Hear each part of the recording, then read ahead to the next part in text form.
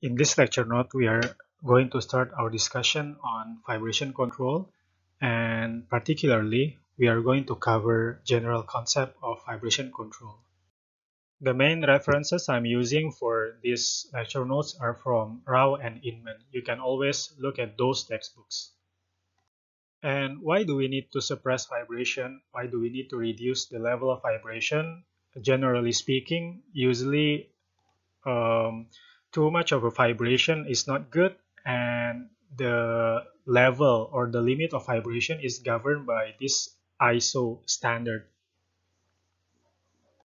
So how do we control the level of vibration? Generally speaking, there are three different ways.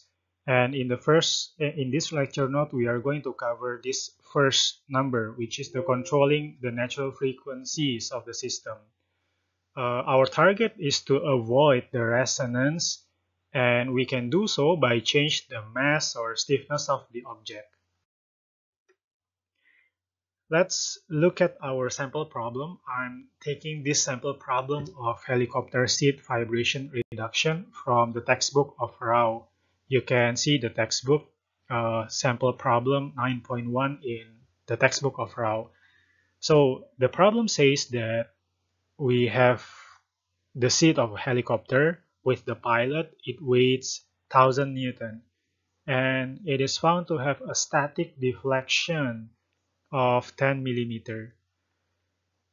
Now, suppose that the rotor will cause a vibration and it is transmitted to the base of the seat as a harmonic motion with frequency of 4 Hz and amplitude of uh, this amount.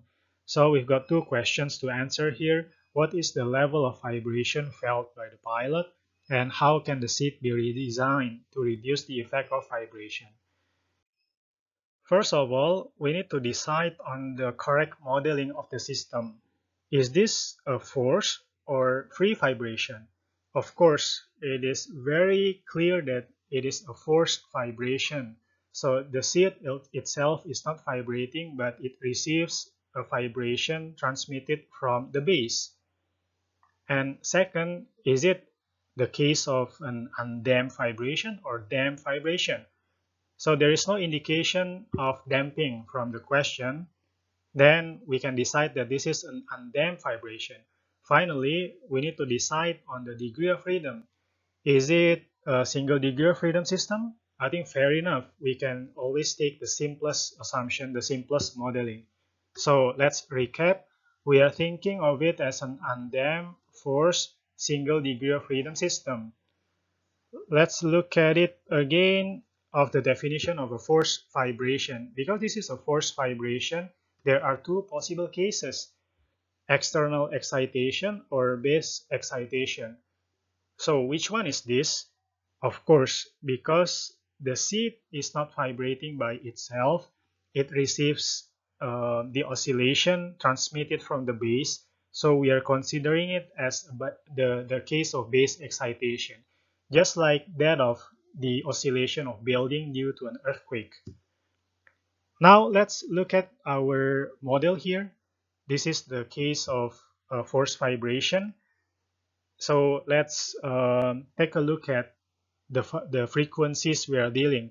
We have two different frequencies here. First is the frequency of the external uh, excitation as well as the natural frequency of the system. So we have our omega n which can be obtained from this system. Of course, because of those two ratios, we are dealing with the magnification factor and this equation one more time. By the ratio of the two frequencies, we can get this plot and we know where we are operating. And one last thing, we need to determine the notation for the amplitude of the input and output as well. So the input, let's uh, decide as y, capital Y, and the output is x. So meaning the harmonic uh, motion of the external excitation is with the amount of y it is being transmitted to the system and it the the result is uh, the amplitude of the result of the motion is capital X. So we can look at our magnification factor one more time. It is the ratio between capital X and Y. We can always think of it as the proportion of output compared to the input because X is our output and Y is our input. So how much uh, of the input is being magnified? That is the meaning of the magnification factor. Fine, now let's try to find what we can find first from the question. So first of all, of course, we can try to find the mass from the weight and gravity, and this is the value of the mass. And remember the Hooke's law, we can find the K from the given weight and also the static deflection. So the stiffness of the system is 10 to the power of 5, a very stiff system. And of course, as explained before, we can calculate our omega n, and the value is very close to 5 hertz. Now, having determined our omega n, we can compare it with the omega of the external excitation from which we can get the ratio. The ratio is 0.8. Notice that 0.8 is located somewhere here. So it is very close to resonance. That's why the magnification factor is very large. Uh, this is very close to 3. Now, of course, from this expression, because the value of y is known, we can determine the value of x, which is the amplitude of the output or the uh, output motion, and it is 0.56 millimeter. From the input of 0.2 millimeter, it is being magnified almost three times. Now next, we can already answer our first question, what is the level of vibration felt by the pilot? We can answer it by saying that the amplitude, the displacement amplitude felt by the pilot is 0.56 millimeter. But then vibration is not only about displacement. We can also express our vibration as, you know, in terms of velocity as well as acceleration. So from this given information of capital X or the uh, amplitude of displacement, we can always find our amplitude of velocity as well as acceleration from this relationship. You know, because given a random signal, random vibration, we can do the derivative to find uh, the v of t and a of t, and this will be our amplitude for velocity and this is the amplitude for acceleration.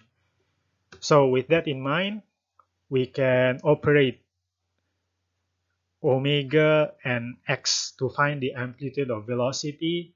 We plug it in and we get this 14.11 millimeter per second as well as the amplitude for acceleration omega squared x and the result is 0.35 meter per second squared.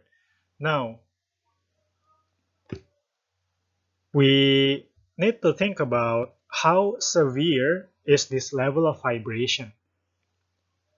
Before we begin to answer question number B, question B to, you know, for redesigning of the seat. We can look at this ISO 2631 and it says that uh, this much amount of velocity and acceleration at 4 Hz are not acceptable for a comfortable ride. And we can also see this graph provided by Griffin et al. from 82 um, to give you perspective. So this is a graph of frequency and acceleration. You know, if our frequency is 4, this is 4, uh, so the acceleration so this is the um, the the acceptable comfort contours. So we need not exceed the acceleration level should not exceed this contour this contour here. So it says that the maximum is about uh, for 0.5 0.5 the the maximum amplitude of acceleration is about 0.5 uh, meter per second square. So it is very close. So the value of 0.35 is very close to that um, of the allowable amount. So that is why we need to redesign the seat. How do we redesign the seat? We need to first need to set up our target. Say if the current acceleration is at 0.35 we can try to reduce it to about 100 times 0.01 meter per second squared. With that in mind we need to work backward. With this equation we can get our capital X which is this much and then uh, plug it in into our magnification factor formula, we can get our ratio. So the desired ratio will be 3.41, which means our new omega n is supposed to be 7.36. You know, you can always look at this magnification factor graph as well. If initially uh, our operation is at ratio of 0.8 now we want it to be 3.41 so we are really shifting it to the right making sure that the magnification value is very low. So you know with uh, all this found we have two strategies to reach this new value of omega n. Because it is a function of m and k we can always change our m and we can always change our k. But then changing m is not always desirable because that means adding um, mass to the helicopter, which is not very good. So we can try to change the value of k, the stiffness, and with the value of mass constant, we need to work out that our new K stiffness would be 5000, around 5000 Newton per meter. Comparing to the original value, meaning we need to reduce it by much. We need to make our seating system to be much softer. So how are we able to achieve this? We can try to put additional springs or we can uh, try to find newer softer material for the seating and there are a lot of ways and finally maybe uh, as a final remark this is uh, this is just a theory I mean we are working out the theory here and comparing to real situation there must be several things to consider as well First of all, the modeling. Our, the modeling of the system we took is that of the single degree of freedom. In real life, uh, single degree of freedom system is too much of a simplification. So for a helicopter seating, uh, it must be treated differently, for instance. And also the harmonic function of the external vibration. Usually, in reality, it is not that simple. Maybe there are factors of noises as well. But then this exercise of redesigning the seating of the helicopter would give you a good perspective on how we are designing the vibration um, you know how how we are controlling the vibration to make sure that it is reduced